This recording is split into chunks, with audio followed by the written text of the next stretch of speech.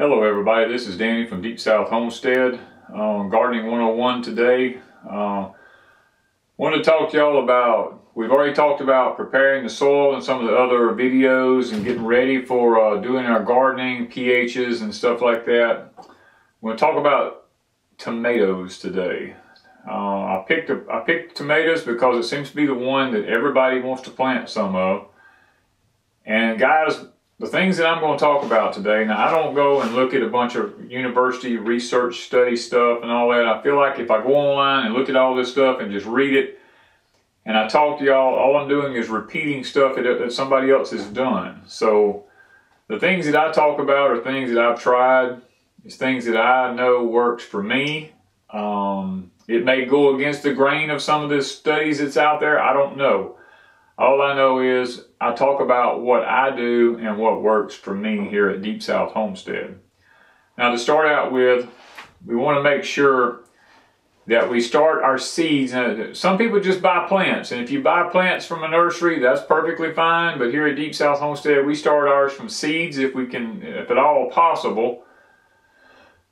And when we do, we like to start with a sterilized seeding mix. Now, we usually will pick up some in town. If not, we'll make our own. It just depends on the situation at the time. Uh, but usually it's not a hard thing. We start off in very small pots because we can get more plants because we plant so many. It's not really worth it to us to try to put tiny seeds in big containers uh, in the beginning stages.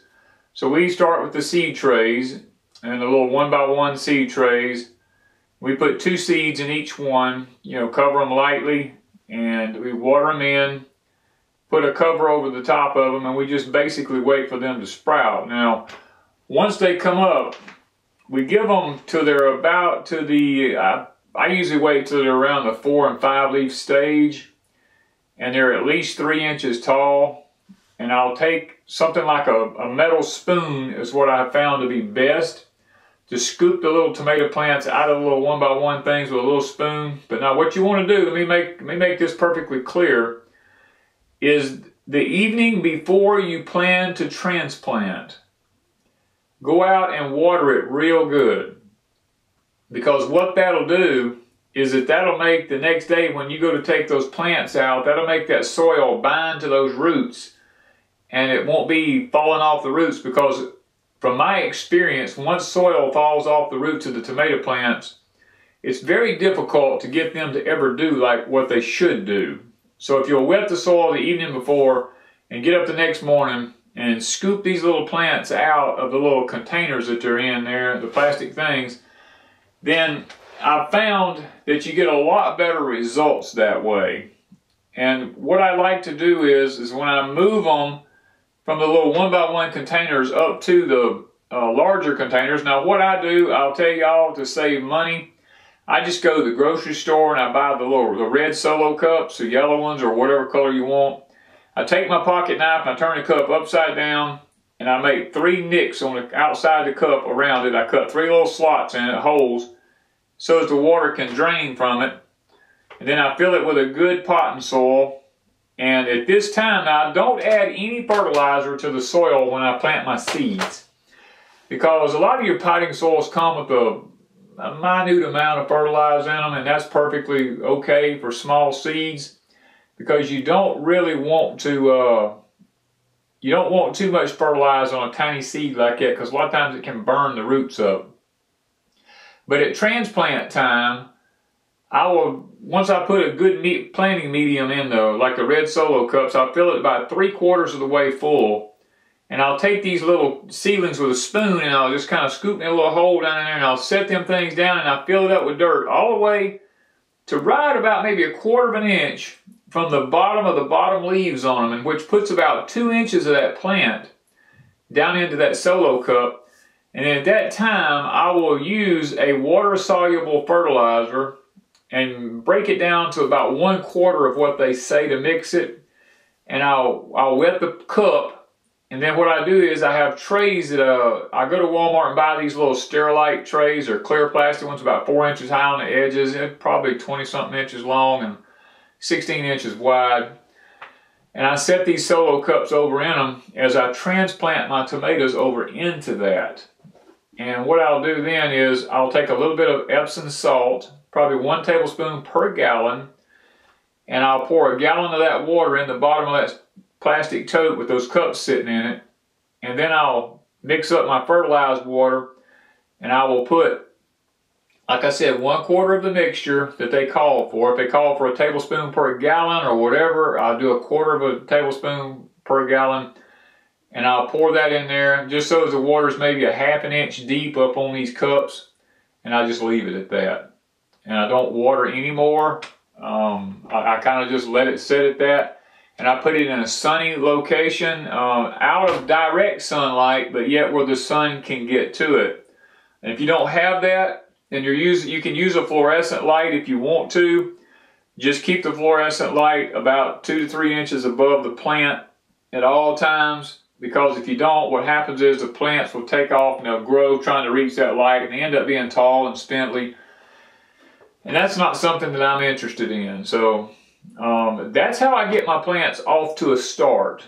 Now, once my the danger of all frost is past and I've prepared my soil like we talked about in some of the other videos, I will take and um, prepare my tomato plant holes a little different than most people do. I take a post hole digger and I dig a hole in the ground probably about 18, 16 to 18 inches deep. And I take my corn cobs from the previous year. I put about four or five of them down in that hole. And I put a little bit of uh, dirt in on top of that. And then I'll put a little bit of Epsom salt on top of the dirt and just a small amount of fertilizer on there, whatever type you want, bone meal, uh, bone meal is good, blood meal is good. And, um, and then I'll fill the rest of the hole with a good compost and put my tomato plant down in that and, you know, plant it. Uh, but that's, that's where I start my plants at. Now, once my plants are up and going, now let me say this, if you happen to get a plant that's too they call them leggy, that's just too tall. Maybe they get to be a foot tall or something, just skinny. You can lay that, you can bury it that deep in the ground if you want. It's not going to hurt anything. Uh, but if you're in an area that kind of stays moist a lot, then you could lay that plant down on its side and kind of turn the top and come up out of the soil right below the leaves and it'll grow roots all along that plant. That's one thing about a tomato plant is it will grow roots all along the stems. Now, one of the things that you have to consider before you even start ordering your seeds or anything is varieties uh, or types. There are two basic types of tomatoes. There's determinate and there's indeterminate. Now, determinate tomatoes are more what they call a bush tomato. Uh, the tomatoes will come on it over a week or two time. They'll all get ripe at one time. And that way it's good for people who like to do a lot of canning. All their tomatoes can come in at one time. They can get them. It's over with. And usually you don't, they don't require a lot of staking or anything like that. But if you're one of those kind of people that likes tomatoes to, you know, you like to can, but at the same time you want some for eating along all through the summer, then you need to go with an indeterminate variety. And when you do indeterminate varieties, you know, you have to stake them or cage them uh, I prefer caging for best uh, for the best results because there's not a lot of tying and time consumption and all that when you put them in cages. Now I build my own cages. I don't buy them. I use concrete reinforcement wire to build them out of, uh, and it seems to work real good for that because the squares are big enough you can get your hands in you know, to do any kind of pruning or to get the tomatoes out, especially if they're big tomatoes you don't have any problem um, getting them out. And a lot of people want to know, well, I don't know how big to make the cage. I typically do, with the concrete wire, I do 10 squares. And uh, I cut it off at 10 squares. That way, that makes that thing about anywhere between 16 and 18 inches in diameter at the top, which is plenty big for a tomato plant uh, to come up through. But now here in the South, this, this may be different a little bit where you live at. A lot of people, you know, they watch me when I do my tomatoes. They get upset and they go, oh, you're pulling off all those suckers. Well, here in the deep South where I live at, because of humidity and uh, soil-borne soil-borne diseases, we plant mainly heirlooms here. Uh, what happens is if you have any leaves close to the bottom of that plant, as it rains, it splatters water from the ground, splatters up on those bottom leaves. And once that plant gets up and going, let's say maybe, you know, it's a foot tall, I will come up off and pick me a sucker pretty, maybe about six inches from the ground, and I let that sucker grow. And what I do is I end up with a plant that's forked like this. It gives me two main stems coming up and then I take all the bottom leaves off of it so if it rains nothing can really splatter up onto the leaves to get the uh, soil-borne funguses and stuff like that started, the wilts and things like that started on it. And uh, as an, indeter an indeterminate grows, I take all the suckers off of it. Now granted it gives me a fewer amount of tomatoes, but I'm looking for tomatoes over a longer period of time so therefore, I'm really not losing anything, but I get a lot larger tomatoes, uh, a lot better looking tomatoes by taking the suckers off, uh, you know, of it. Now, the thing about in, indeterminate tomatoes is, is once they, I mean, they'll grow 10, 15, up to 20 feet if you would let them.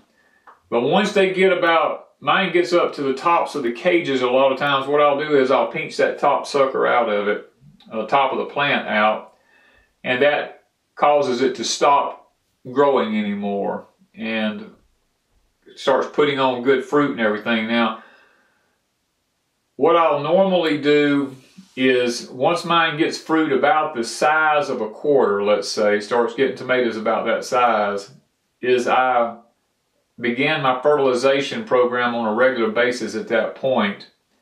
I try to I use a well-balanced mixture of fertilize. Um, you can go organic if you want. The only problem with organic fertilizers are is the, the nutritional value in them is really not consistent.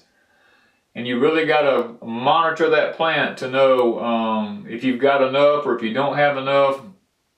But um, a lot of times I will just go ahead and use a a, um, a, a fertilizer that has got the known nutrients in it up to certain percentages in it it may not necessarily be organic, it may be a water soluble one or whatever that um, is there. But now I'm going to give you some little secrets that I will do on my tomato plants along the way.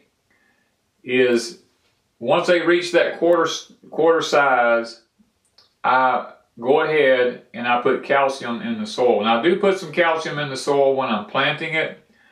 I put it down underneath the base of the plant deep in the ground so that when the roots grow into it, I usually put a half a cup in the hole when I'm putting in my fertilizer. Um, I, I, did neglect to mention that.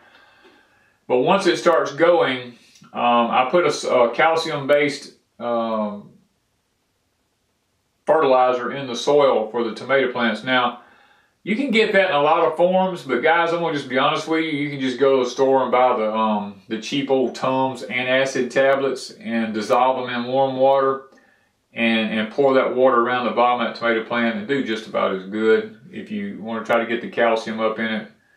And I, water, I fertilize every two weeks during the growing season. Now, once the tomatoes get to be a size of a quarter, I put I fertilize with magnesium, I fertilize with calcium, and then I put my regular fertilizer in. And I don't want anything real high in nitrogen because even though tomato plants love a lot of nitrogen, I'll usually use something that the nitrogen is a, is a less number than the, than the other two numbers on it.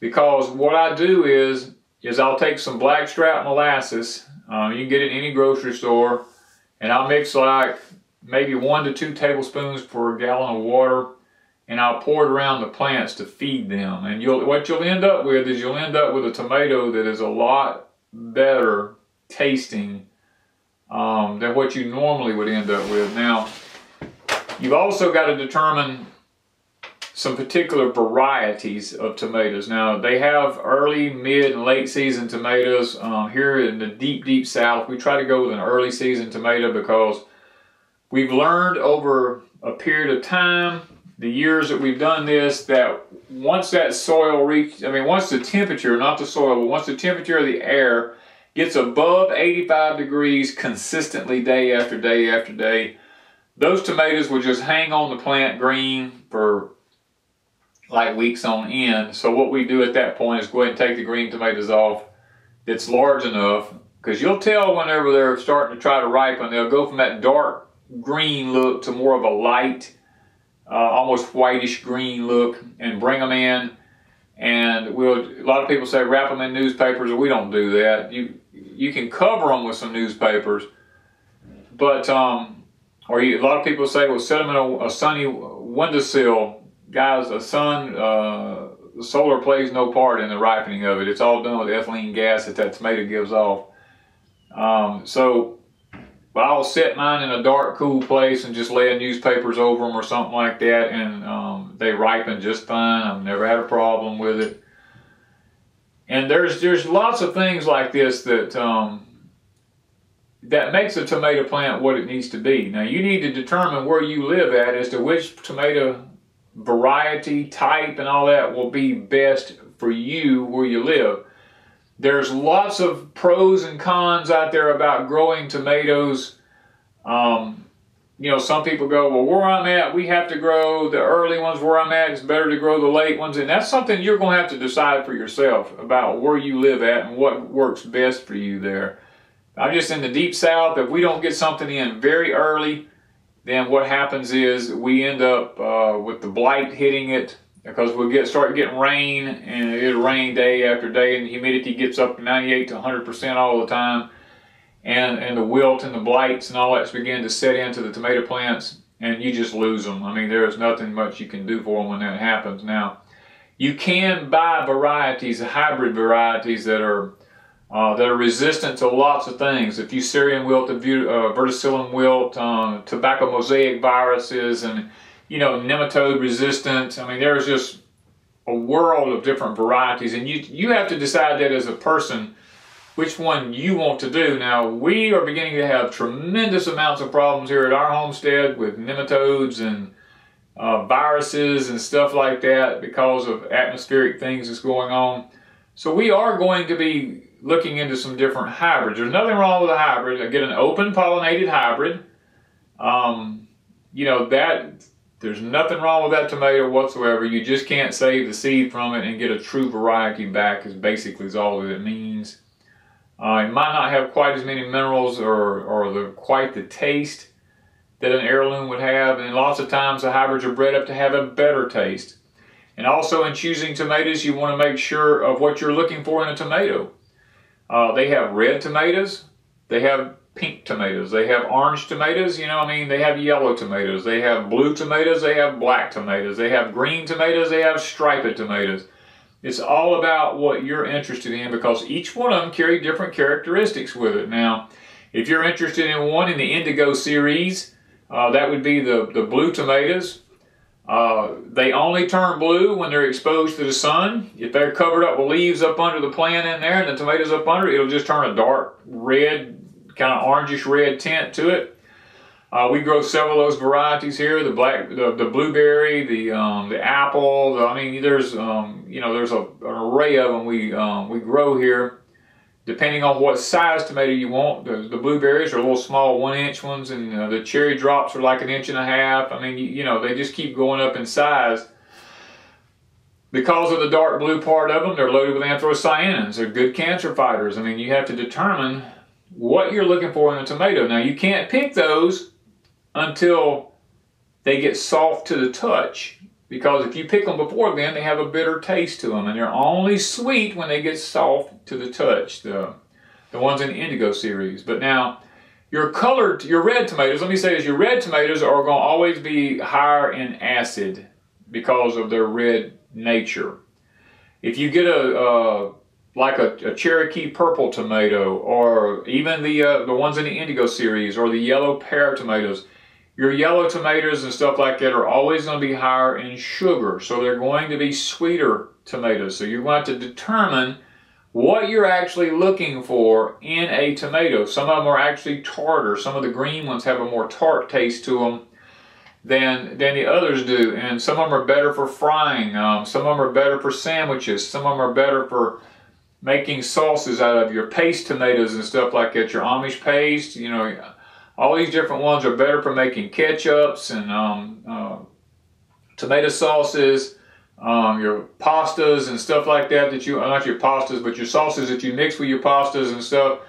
you know, your paste tomatoes are, all, are going to be better for that because there's more meat and less juice.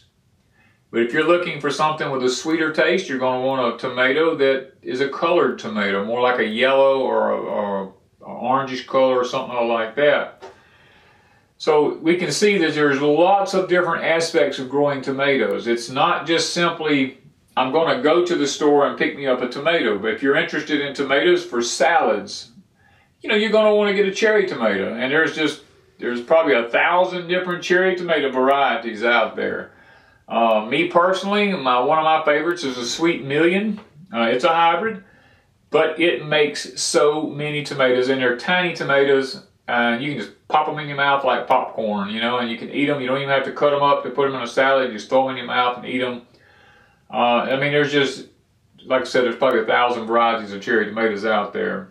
Um, the yellow pear tomatoes or is another little small tomato, very small, very sweet, very good in salads. Um, just loads up. I mean, tomatoes everywhere. And then there's, you know, you've got your uh, your tree tomatoes, uh, your Belgium giants, and all that stuff that grows up, and they just make huge tomatoes. Some of them can be two and three pounds, uh, you know, even more than that. A lot of them. Uh, most of your heirloom tomatoes have a very irregular shape to them. They're not very consistent in shape, which makes them unpopular in the modern grocery stores. Um, most people are looking for a uniform tomato that's ripe all the way, red all the way to the stem at the top. You know, you're going to have to go with a, um, a more hybrid type variety in order to get that consistency if that's what you're looking for. Um, but there's, guys, there's probably, I don't even know how many thousand different varieties of tomato plants that there are out there for you to choose from. But there's a you know there's a lot of information out there about tomatoes and, and, and planting tomatoes. You have to determine do you want to stake your tomatoes. Staking tomatoes takes a little bit more effort, but if you want to do it, I mean you can tie them up, not a problem. Uh, or do you want to have the cages? You can cage them, less work. Um, do you want to buy the bush varieties, the, the determinants? There's a lot of them require no staking, but they usually have more tomatoes on them you know, they load up real heavy. And you don't want to prune the foliage off of a determinate tomato because it those leaves are what pulls in a lot of the sugars into those tomatoes in order to get the flavors and the taste that you're interested in them. And if you go to cutting off too many leaves on it, then you, you actually damage the plant and you end up with sun scald and some of these things happening. And a lot of people go, well, I, I have a lot of, uh, what about if my tomatoes start cracking? Well, cracking usually comes from the simple fact that it's been there's not a consistent amount of water going to that tomato plant. You might have a week of dry weather and then all of a sudden you get a downpour of rain and tomatoes mainly grow at night and what happens is, is that tomato grows and expands. The skin on it's done got kind of thick and tough and it'll actually split it and then the tomato will ruin on you if you're not careful. And, you know, so you have to make sure that you water consistently in order to keep the, uh, the cracking and the splitting down. Uh, you will have some of what's called cat facing. Cat facing usually comes from, and it can be from a couple of different things, but nine times out of 10, it's from weather fluctuations in temperature. It'll be cold at night, warm in the day, cold at night, warm in the day, while the tomatoes are blooming, actually putting on little tomatoes. And you'll get some cat facing that way. Um, trying to go through some of the things in my mind here that you would end up blossom end rot can be caused by a couple of different things. It's a uh, inconsistent supply of calcium to that tomato, which goes back to uh, do you even have the calcium in the soil? And if you do, then in what form is it in the soil in? How can I do a quick fix? A quick fix was like I told you with the Tums tablets, the cheap ones. That's a quick fix. You can actually spray it on the plant or you can spray it around the plant to get it in it uh, to help with blossom end rot and then, then consistent watering because if, if a plant gets irregular amounts of water then it will cause blossom end rot just as much as not having any calcium at all. So you want to make sure that you get a consistency of about one inch a week water to a tomato plant on a regular basis. Now don't have to be all at once. You can just do it periodically during the week uh, I do recommend an irrigation system if you can for tomato plants just for that simple reason um, of preventing blossom end rot and preventing uh, cracking and splitting and stuff like that.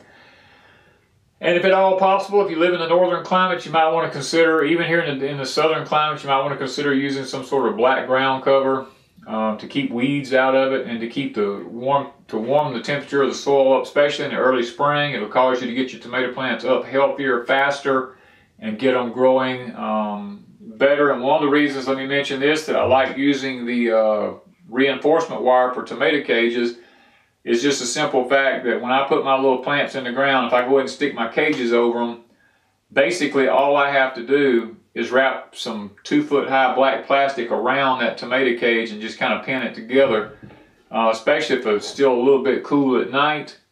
And the, during the daytime, as that thing heats up, that plastic gets warm and it actually heats that soil up in there. And at night, the heat from that soil is radiating up through that black plastic and actually keeps that plant a little bit warmer at night so that it doesn't actually get the uh, um, the cooler temperatures to slow it down. Now you want your temperatures on a tomato plant at night to be around 60 to 75 degrees in the early spring because what that does is it creates a sturdier, um, healthier uh, tomato plant. Now you want to also let the wind blow that stalk just a little bit because as the wind blows that stalk, it creates that stalk and makes it uh, more stocky and more sturdy, more able to withstand uh, the elements a little bit better. And guys, always be on the lookout for uh, insects that hits tomatoes. You have stink bugs um, that hits them pretty bad. They'll sting places all over your tomato plants. That's the reason we like to get them in in the early spring because a lot of times we can beat the stink bug uh, hatch off. Uh, tomato hornworms will attack tomatoes, they'll attack peppers, um, potatoes, anything in the nightshade family. Those hornworms are just horrendous. And then you uh, you get these little little small worms that bore holes in the tomatoes and you'll have to the infestation of those sometimes i have to get as many as hundreds of them off of one plant because they'll hatch out just overnight. And you gotta i have to sit there and hand pick them off. Now you can use uh, you can use bt uh, bacillus thuringiensis as a treatment it's an organic pesticide if you so wish. Um, you can use some different other oils um, to spray on your plants to actually get rid of them uh, aphids is another thing that hits tomato plants you got to kind of be cautious about uh, you got white flies that hit tomato plants. I mean, there, tomato plants have a lot of pest problems. Um, but if you keep, we've learned this, if you keep a good, healthy plant, you have less problems with insects than anything else. Uh, occasionally, we'll get a tomato hornworm off of ours. And if you find one, just keep looking because there's usually more than one somewhere in the area there. The other plants usually has more than one hatched out. And specifically on that one plant, there'll probably be more than one. And as far as diseases, we've learned that the healthier that plant is, we have fewer problems with diseases, specifically if we keep those bottom leaves off on the indeterminate ones. And the determinate ones, if we can keep some kind of ground cover underneath them, we've learned that uh, we have less problem with pro with with you know that way. Um, just trying to think if there's anything else here, guys, that we can um, you know, mulching tomatoes is good. If you uh, if you want to mulch your tomatoes, it helps to keep the the soil uh, damper. Uh, they don't uh, go through the drying out and wet period quite so bad. It helps with the blossom end rot and the cracking if you can get a good mulch over it. Um, I do encourage that also. I mean, that's something you might want to consider. Um, I'm trying to think if there's anything else here that um, that we that we do here that would be interesting on this video and help y'all out. So now, I do not overwater tomato plants when they're young because if you overwater tomato plants, then um, what happens is when you overwater them, they, they'll, especially if they're little, they'll damp off.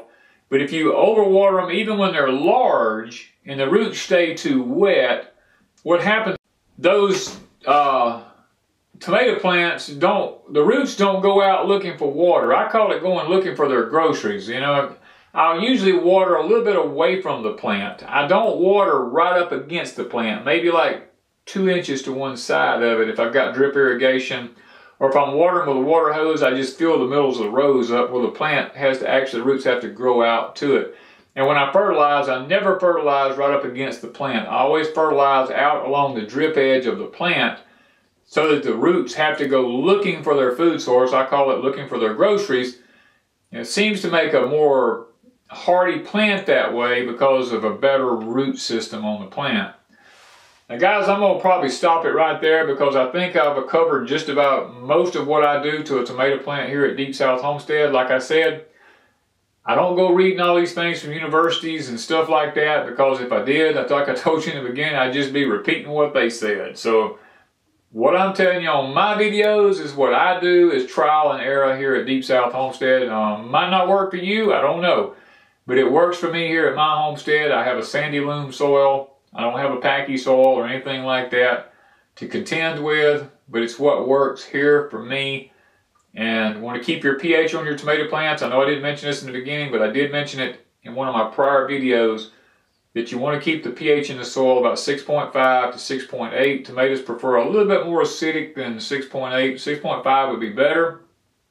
But um, other than that, I think I've just about covered everything and I'm hoping that this video has helped y'all out a little bit about um, some of the ways that you can do tomatoes, some of the things about tomatoes, um, a little bit of their history maybe, what you can do if you have a problem. So, you know, maybe this has been a benefit to you. And if it has, you know, give me a thumbs up or share it with someone else or or save it in your, you know, in your in your folders over there. Put it over to the side so that next year when you grow tomatoes, pull it up, listen to it again, and just see if uh, if there's something there that you might need to do. You know, so I hope it's been a blessing to you, and thank y'all from Deep South Homestead.